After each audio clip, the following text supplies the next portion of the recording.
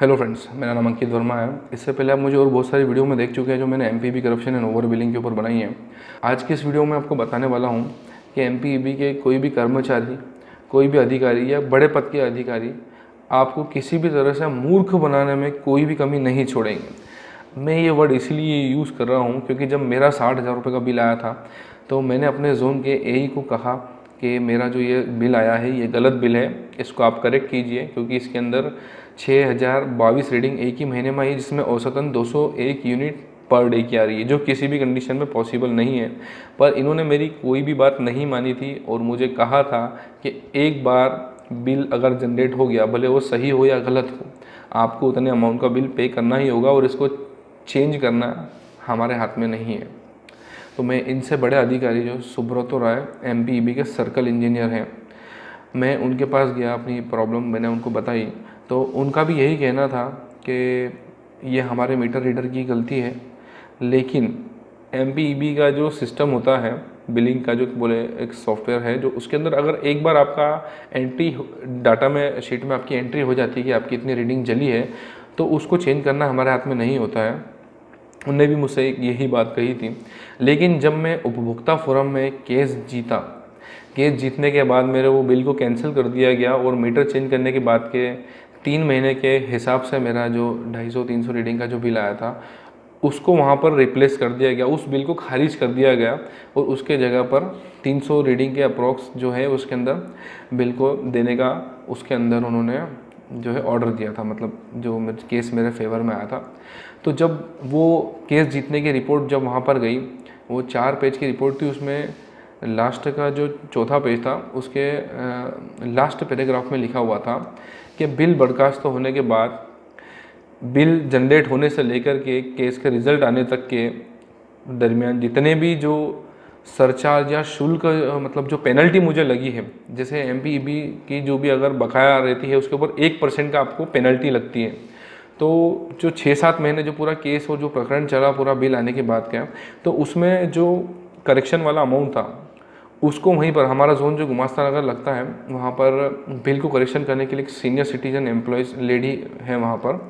वो मैडम ने उस बिल को मेरे सामने दो मिनट के अंदर ही, जो मेरा बासठ हज़ार एक सौ छब्बीस रुपये का जो बिल था, उसको दो मिनट के अंदर ही मेरे सामने पच्चीस हज़ार आठ सौ अट्ठाईस में कन्वर्ट कर दिया। लेकिन उनने उस समय पेमेंट सरचार्ज और पेनल्टी वगैरह को नहीं हटाया था, जिसके लिए मैंने दोबारा उन्हें बताया कि आपने इसके अंदर उसको नहीं हटाया है। और उसके बाद इमीडिएट उन्होंने एक और बार मेरे सामने उसको बीस हज़ार चार सौ इक्यानवे का मैं मतलब उस अमाउंट को चेंज कर दिया। और इसी बात को मुझे उनको बताने के लिए छः से सात महीने परेशान होना पड़ा।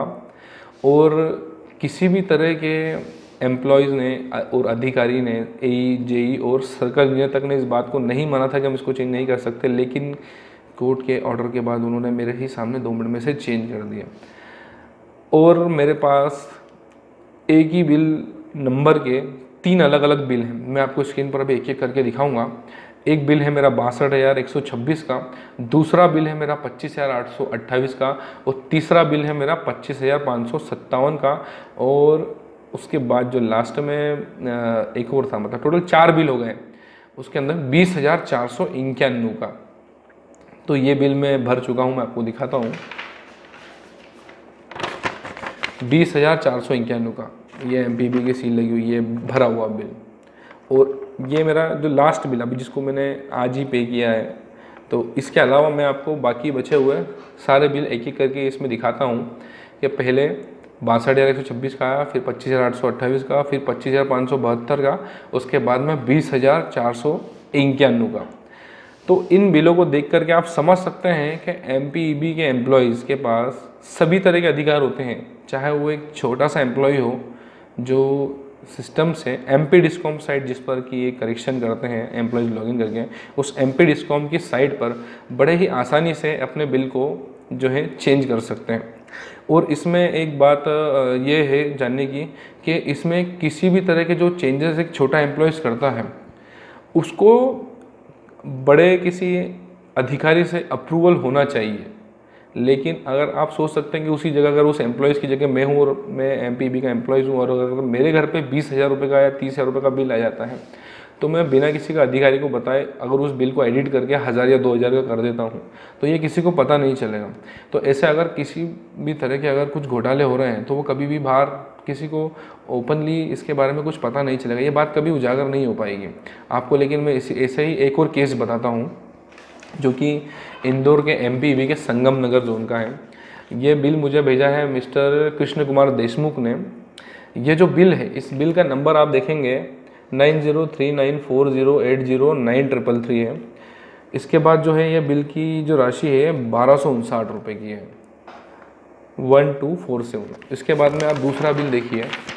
सेम बिल नंबर है इसके अंदर, nine zero three nine four zero eight zero nine triple three, Krishna Deshmukh. उसके बाद जो है, नाइन्टी टू रुपीज़ ऑनली है ना? ये दूसरा बिल है, सेम बिल नंबर का।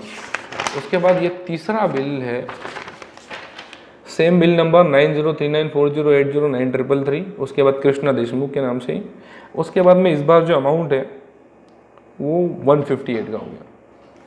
है ना?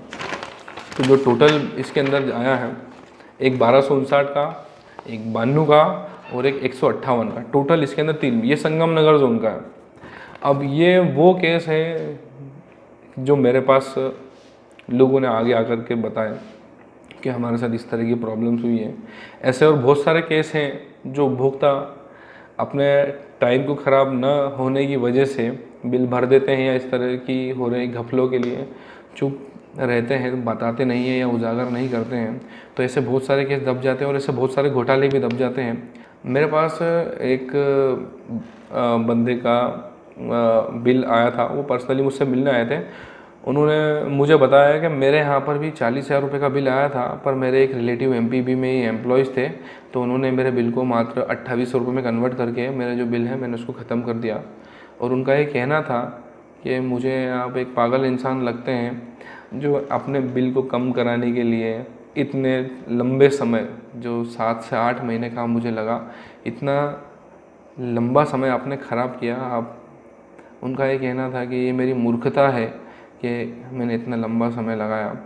लेकिन मैं उन सभी लोगों को कहना चाहूँगा कि इतना टाइम मुझे एमपीबी में लगाने के बाद ऐसे कितने ही सारे घोटाले और ऐसे कितने ही सारे जो खामियाँ हैं एम के अंदर उसके बारे में पता चला और मैंने ये चीज़ रियलाइज़ करी कि इससे मैं अकेला ही परेशान नहीं था। मुझसे कहीं ज़्यादा अमाउंट वाले, कोई ज़्यादा बिल वाले लोग भी, और ज़्यादा गरीब लोग भी परेशान थे। तो उसी से मुझे मोटिवेशन मिला कि अब मुझे ऐसा कुछ करना चाहिए कि इस तरह के सभी काम बंद हो। इस वीडियो के आखिरी में मैं आपको एक बहुत ही इम्पोर्टेंट टिप देना चाहूँगा बिजली के बिल को कम करने के लिए या एक लेवल में बनाए रखने के लिए। नॉर्मली जितना अपना आता है मंथली तो बिजली के बिल को कम करने के लिए ये ज़रूरी नहीं है कि आप बिजली के उपकरणों कम से कम यूज़ करें या ज़रूरत होने पर बंद कर दें। उससे कहीं ज़्यादा इंपॉर्टेंट है कि आपके महीने की हर महीने जो भी रीडिंग होती है, वो सही हो रही है कि नहीं? आपके हर महीने की जो रीडिंग होती है, उसकी जो एंट्री जो मीटर रीडर लेकर के जाता है, वो सही तरीके से होना बहुत ज़रूरी है। इस पर आप हर महीने ध्यान रखिए, ये आपका अधिकार है। इसके लिए आपको कोई रोक नहीं सकता एमपीबी का कोई भी अधिकारी, क्योंकि आप हर चीज़ के लिए इन्हें पे करते हैं। आपके बिल में मीटर प्रभार के नाम से शुल्क लगा होता है दस रुपये जो कि ये आपसे आपके मीटर का रीडिंग का शुल्क समझ लें या मीटर का आप इसमें किराया समझ लें, जो भी है मीटर से रिलेटेड चार्जेस लगते हैं तो आप इनके उस चीज़ के लिए पे कर रहे हैं तो इस चीज़ का बिल्कुल ध्यान रखिए कि जिस तरह से आप बिजली के उपकरणों को ज़रूरत न होने पर बंद कर देते हैं, उससे कहीं ज़्यादा इंपॉर्टेंट बिजली के बिल को कम करने के लिए ये है कि आप हर महीने अपनी रीडिंग की जो एंट्री मीटर रीडर के थ्रू होती है, उसके ऊपर ध्यान रखें। Thanks for watching